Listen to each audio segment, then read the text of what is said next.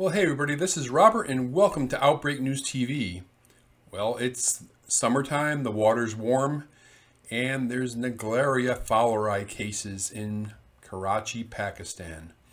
And here's a report from about a week ago through the media source Dawn.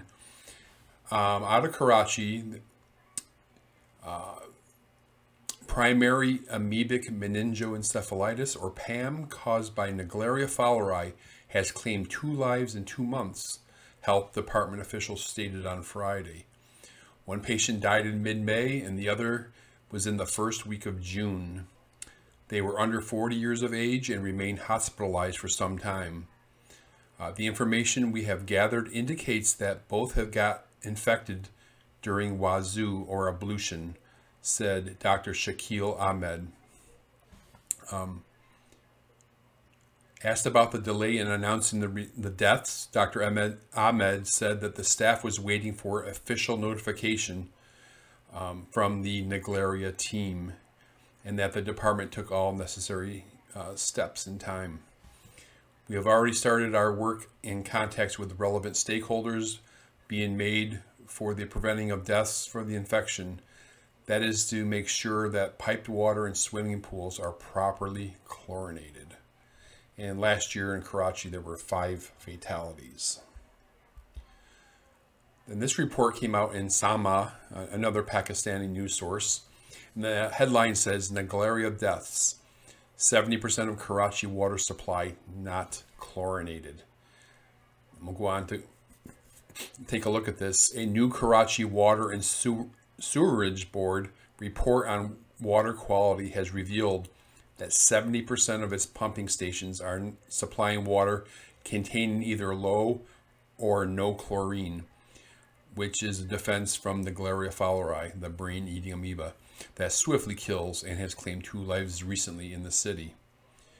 Uh, the Karachi Water and Sewerage Board took samples from all its pumping stations after the Sindh Directorate of General Health Services recommended checking how the water is being chlorinated and if the levels of at all major water reservoirs were meeting World Health Organization requirements. The findings were submitted to the World Bank initiated Karachi Water Sewerage Service Improvement Project. It showed that 87 out of Karachi's 123 pumping stations were supplying domestic water with low or no chlorine. Okay, so that that that explains a lot in, in, in uh, Karachi, Pakistan, and why they are seeing year after year multiple cases of Naegleria fowleri. And the first, just a little history, the first case of Naegleria fowleri was reported from Karachi, Pakistan in 2008 in a 25-year-old male who had a history of swimming in a river, part of the domestic water supply to Karachi. So this is I think Pakistan as a whole didn't see their first case till early the early 2000s. So this is a relatively new phenomena being seen in Pakistan and in Karachi specifically. This uh, report out of the Lancet from uh, last January 2020 um, talks about the prevalence of Naegleria fowleri in Karachi. Uh, it says the uh, the amoeba is an emerging problem in Karachi, which is a major metropolitan city and coastal site of Pakistan. Um, in Karachi itself, the first case of PAM was reported in 2008, and up until October 2019, 146 cases have been reported from Karachi. In only a decade, the, no, the number of PAM cases in Pakistan exceeded those reported in the USA during a course of a half a century. So 142 cases were reported in the USA between 1968 and 2019, according to this report. Uh, another difference is the highest number of PAM cases in the USA are reported in children under 14. However, in Pakistan, most cases are reported in adults 26 to 45 years and they say which points to a possibility of a genetically unique strain in Pakistan. Um, all of the reported cases of PAM in Pakistan, uh, all of them were in Muslims, and only two individuals had a history of recreational water activity. Therefore, it can be inferred that Naegleria fowleri exists in the domestic water supply in Karachi, and that infection largely results from ablution. Ablution is a uh, nasal rinsing uh, that's often used in religious um, uh, ceremony and like that. Okay, and this was a pretty interesting study from the International Journal of Infectious Diseases. It's a, a year or two old. And you can see on this graph that uh, this is in Karachi, and the red line is the chlorination of the domestic water supply. And you can see kind of peaks in March, and by June, it's almost undetectable. It looks like it's undetectable. Uh, the green line is the average temperature of the water, and of course that peaks in the summer, right? No surprise there. And the blue line is the number of fatalities from the parasite, which also you see this peaking right around June, July, and August of the year.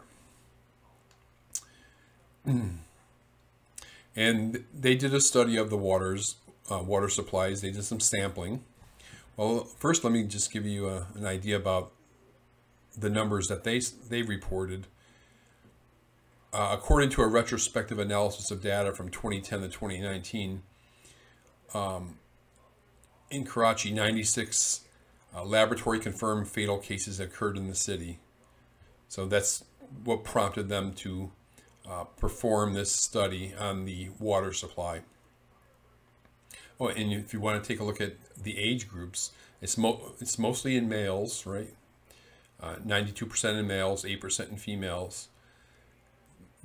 Not a whole lot in young children, but you see it in that um, young adult to going to middle age, uh, a, a large percentage, somewhere hovering around 70%, are in that age group. All right, back to the, their, their observations. Uh, we observed that Naegleria fowleri was absent in samples with detectable chlorine levels um, and in normal temperatures of uh, less than or equal to 25 degrees C. So the parasite is not seen when there's detectable chlorine levels of 0.1 to 10 milligrams per liter and at normal temperatures of less than or equal to 25 degrees Celsius. Several factors may have precipitated these fatal cases to occur. Some of them are changes in the lake's ecosystem, rising temperatures, uh, and the ever deteriorating quality of water treatment plants and the distribution systems. However, according to our study, the most damaging factors were undetectable chlorine levels in domestic water supply and rising temperatures. Our results reinforce that Naegleria fowleri can only survive when there are lower levels of chlorine in the water supply and sustained hot weather, as was demonstrated in the graph. Our findings suggest that chlorine concentrations are inconsist inconsistent throughout the water distribution system, which allows Naegleria fowleri to survive and thrive as a biofilm throughout the supply lines and into household plumbing and overhead water storage tanks. Chlorine treatment as biocide effect is an important element to eliminate Naegleria fowleri without forgetting the quality of, of water treatment, which is consistent with previous reports. High temperatures of greater than 25 degrees Celsius and the paucity of detecting chlorine might have provided favorable environments for Naegleria fowleri to survive in domestic water. Enhanced and consistent chlorine pumping from April to October at water filtration and distribution plants are the best possible ways to control the growth of Naegleria fowleri in domestic water.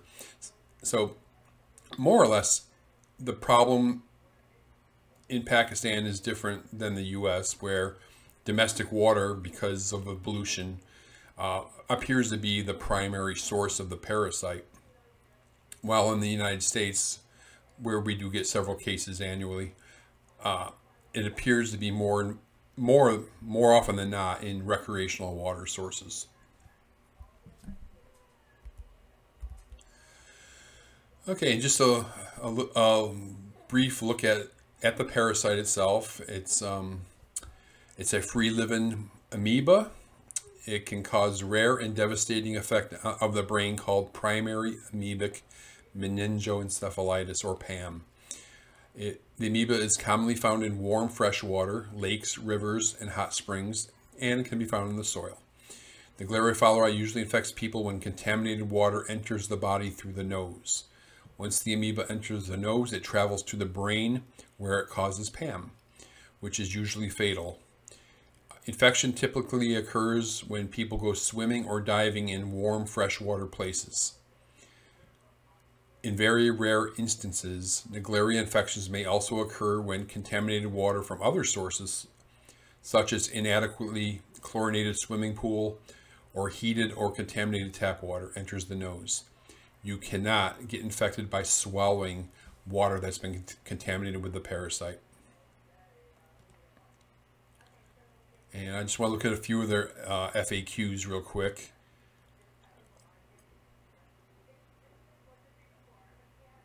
And um, how common is the parasite in the U.S. They consider it rare. In the 10 years from 2010 to 2019, 34 infections were reported in the US. So that's about a third of what they saw in Karachi, Pakistan. Of those 30 cases, um, of those 34 cases, 30 were infected by recreational water. Three people were infected after performing nasal irrigation, uh, neti pots. And one person was infected by a contaminated tap water used on a backyard slip and slide. So the child was sliding on the slip and slide and water rushed up his nose. Um, I want to talk real quick about the treatment. Well, let's talk about the, fatality. Fatality rate is over 97%. In the U.S., only four people out of 148 known infected individuals since 1962 through 2019 have survived. And uh, most of those were just in the past eight years of the, the survivors. Is there an effective treatment? Not, not so much. Um, there is the uh, uh, a regimen of different drugs that they, they use different combinations. And uh, the one drug called miltefosine has been used and has helped with the survival of at least two people. Okay, so say 148 cases since 1962 through 2019, and that's not including uh, anything from 2020. And just uh, just a side note that our website outbreaknewstoday.com reported at least three uh, cases in 2020. One was, of course, in Lake Jackson, Texas. You may remember that story. Um, in Brazil, where a six-year-old child uh, contracted the parasite from from the water. And then we also reported that there's two cases reported last summer in Florida. Uh, one in a child from Palatka, Florida, and another one uh, was somewhere in Hillsborough County. We never got any specifics on that. So you can check out those stories on OutbreakNewsToday.com. Anyway, we'll be keeping a very close eye on this parasite as the summer moves on um, in Pakistan and here in the U.S. Uh, and see how things pan out for 2021. Again, I appreciate you watching. Comment below, uh, subscribe to the channel, like the video, share it with your friends, and I'll see you next time.